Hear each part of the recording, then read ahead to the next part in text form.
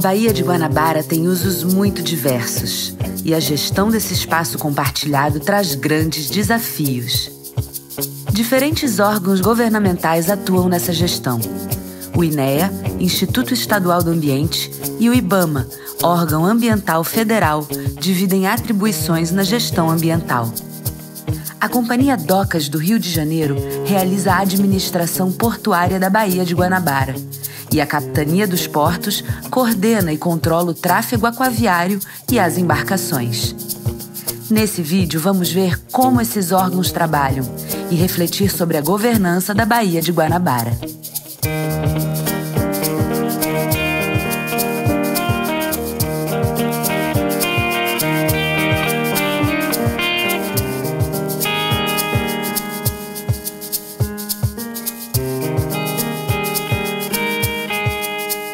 A Baía de Guanabara traz questões que estão abertas, que não têm é, competências estabelecidas. Né? Então, quando a gente pega especificamente a questão do tráfico de embarcações, né?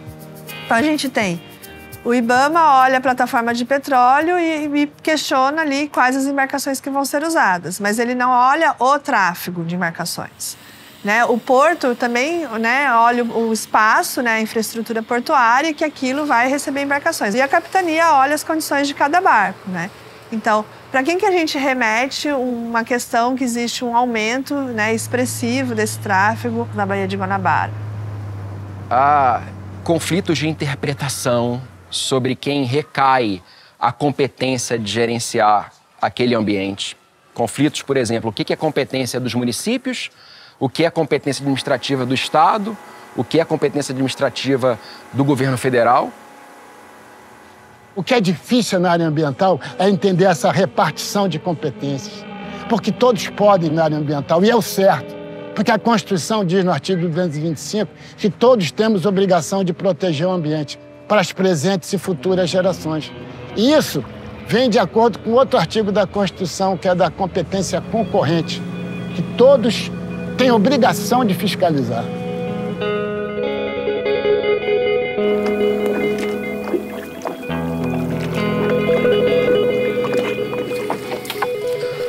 O licenciamento ambiental ele é um dos instrumentos da Política Nacional do Meio Ambiente. Ele é um procedimento administrativo que se volta ao controle da poluição ambiental. Tá? Então, ele é destinado a empreendimentos, atividades potencialmente poluidoras é, uma leitura dos, de uma realidade ambiental e como que essa realidade vai ser alterada né, na presença daquele empreendimento.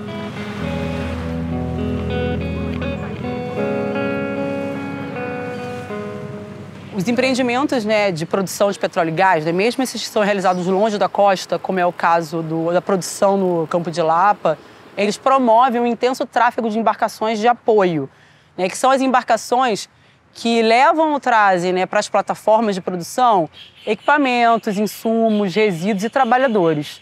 Né? Então, esse, esse tráfego de embarcações, principalmente relacionado à Bacia de Santos, usam principalmente as bases portuárias localizadas na Baía de Guanabara. É importante também ressaltar que as bases portuárias que estão na Baía de Guanabara elas não são licenciadas pelo IBAMA. E elas também recebem o tráfego de embarcações de outras atividades produtivas e outros empreendimentos também licenciados por outros órgãos. Então é importante né, que esse aumento do tráfego de embarcações e esse impacto no uso do espelho d'água da Bahia, ele seja avaliado tanto dentro do licenciamento ambiental federal quanto dos licenciamentos ambientais realizados pelo Estado. Dentro do órgão ambiental tem uma diretoria que avalia os pedidos e requerimentos de licenças ambientais das mais variadas atividades. Se naquele local ela pode usar a tecnologia que ela está propondo, o órgão ambiental vai exigir controles né, da poluição hídrica, da poluição do ar, da poluição sonora, do risco, da destinação dos resíduos. E depois que essa licença é dada, esses processos são encaminhados para a que é a diretoria então que vê o cumprimento das licenças, acompanha as licenças, tem as atividades de atendimento a situações emergenciais, atende denúncia da população, ajuda a polícia do meio ambiente, faz vistorias na Baía de Guanabara em conjunto com a Marinha.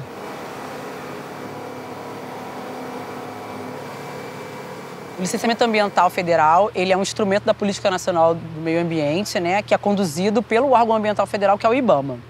Ele busca avaliar a concessão de autorização para atividades né, ou empreendimentos que causem impacto no meio ambiente. O objetivo dele é, através das condicionantes, estabelecer medidas que possam monitorar, diminuir, restringir esses impactos de modo a contribuir para a qualidade ambiental dos territórios onde esses empreendimentos estão localizados.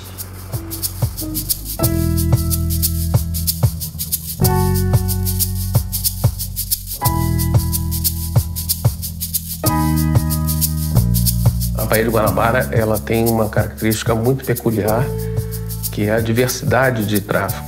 Muitos tipos de embarcações, né? nós temos aqui navios conteneiros, navios ro é, navios petroleiros, navios gazeiros, o trânsito entre as cidades do Rio de Janeiro e Niterói por intermédio de barcas. Temos também uma presença muito marcante da comunidade pesqueira na Baía de Guanabara, que interage com esse tráfego, e a comunidade de esporte e recreio, que também é considerável também. Então, é um tráfego bem diverso, bem complexo e que envolve uma coordenação de esforço muito grande a Companhia Docas tem a missão de prover infraestrutura e serviços comuns ao seu complexo portuário. Antes de controlar o espaço, a autoridade portuária, juntamente com a Marinha do Brasil, que é a autoridade é, marítima, tem a responsabilidade de zelar pela segurança do meio ambiente nas operações, nas áreas que são a nossa responsabilidade, no caso, a Baía de Guanabara.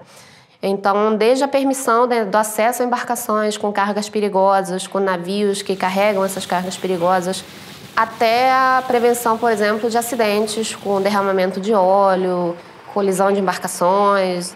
A dragagem do canal e das áreas de fundeio, das, das áreas onde as embarcações navegam, é responsabilidade da autoridade portuária no, dentro do perímetro do porto, que é chamada poligonal do porto. A sinalização náutica e as luzes né, que delimitam os limites do canal também são responsabilidade da autoridade portuária.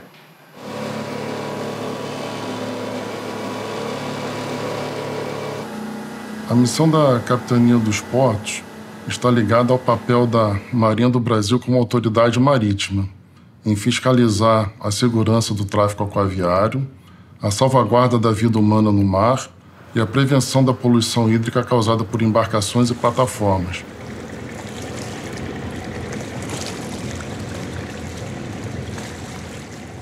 Essa região aqui é o canal de acesso da Barra Grande, a nossa outra opção de acesso é pelo canal de Cotunduba, que é essa região aqui.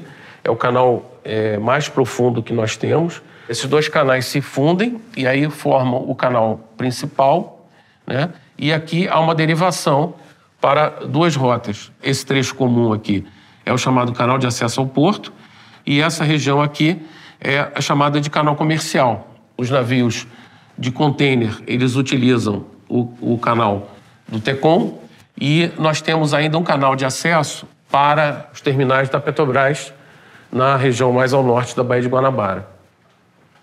Essas áreas de fundeio, elas são importantes porque elas atuam como buffer do tráfego. Na medida em que os navios que não vão atracar, eles são destinados a essas regiões e lá eles podem fazer é, operações, por exemplo, de embarque de carga e essas áreas de, de fundeio, são responsabilidade da autoridade portuária.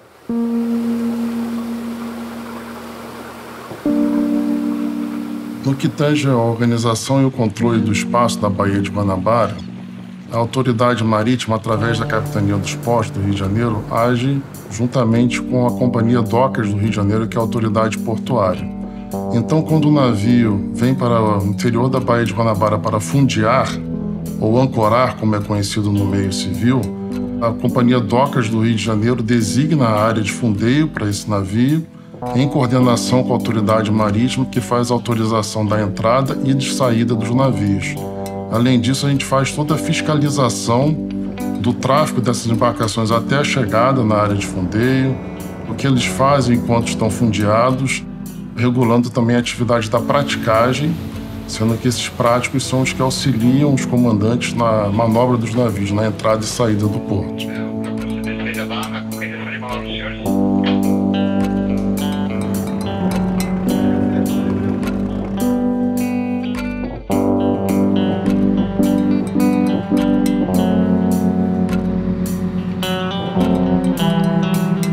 Grande problema da Baía de Guanabara são as manchas órfãs, aquelas manchas de óleo que são lançadas e não sabe a origem, não tem responsável.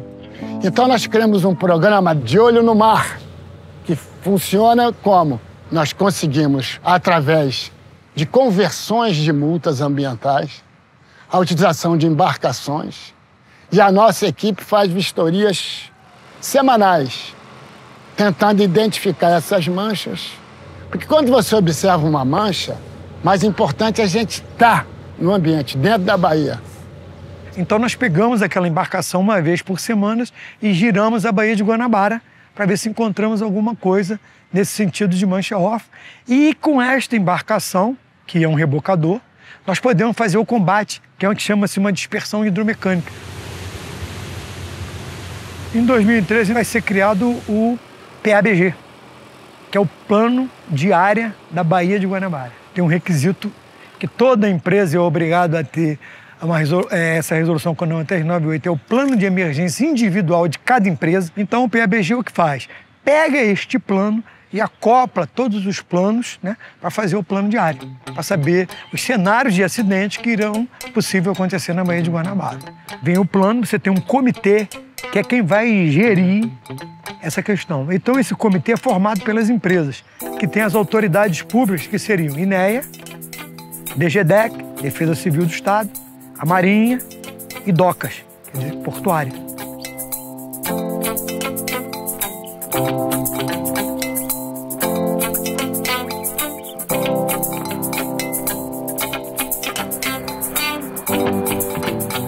Grupo de trabalho que estuda melhorias da acessibilidade aquaviária do Porto Rio de Janeiro é composto pela Capitania dos Portos, pela Autoridade Portuária, pela Praticagem do Rio de Janeiro, os terminais arrendados e também outros players importantes, como a Petrobras e outras empresas. E começamos a nos debruçar sobre problemas comuns. Então, hoje nós nos reunimos uma vez por mês e que virou, na verdade, uma oportunidade para que todos os stakeholders é, compartilhem seus problemas e encontrem soluções comuns né, para eles.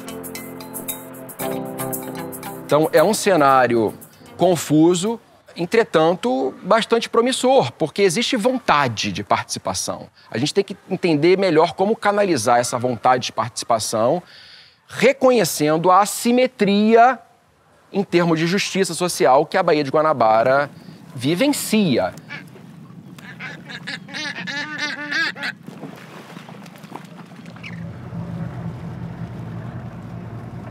A gente entende a importância da indústria do petróleo para o país, a gente entende que é, locais abrigados como a Baía de Guanabara acabam sendo locais de, de, de logística, enfim, manutenção é, das embarcações, só que o negócio é bom quando é bom para todo mundo.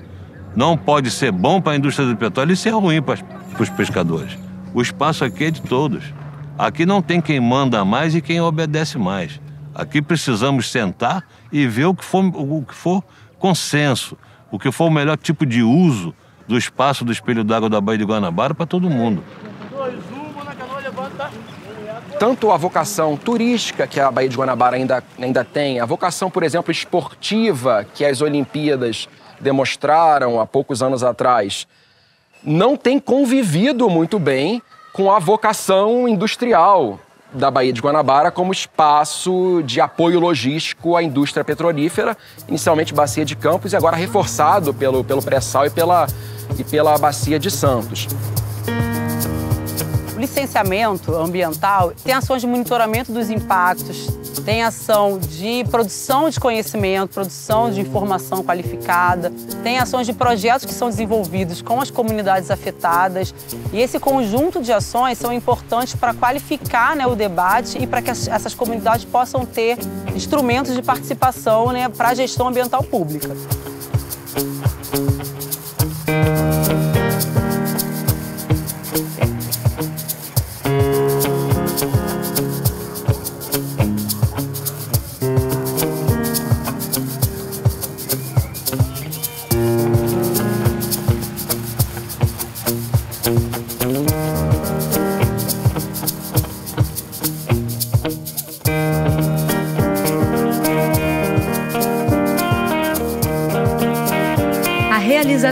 Projeto de educação ambiental Redes da Baía de Guanabara é uma medida de mitigação exigida pelo Licenciamento Ambiental Federal, conduzido pelo IBAMA.